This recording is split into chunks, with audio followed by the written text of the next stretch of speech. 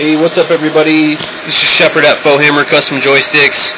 Just wanted to give you one more look at the uh, Fight Me Good Akuma stick that we just finished up. Um, it does have the uh, Ramora uh, PCB in here, light control, and uh, completely programmable.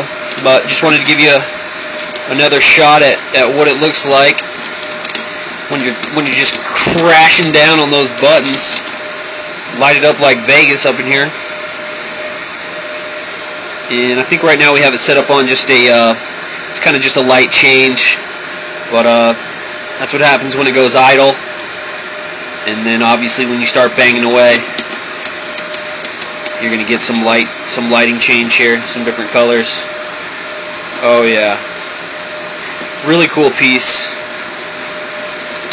That was a lot, really cool. Ooh. Alright y'all, thanks for tuning in. Just wanted to give you guys one more shot of what this thing looks like with the uh, the lighting and everything. So, uh, really pleased with the piece. And hope you guys enjoyed uh, checking out the video. Alright, check you later. Peace.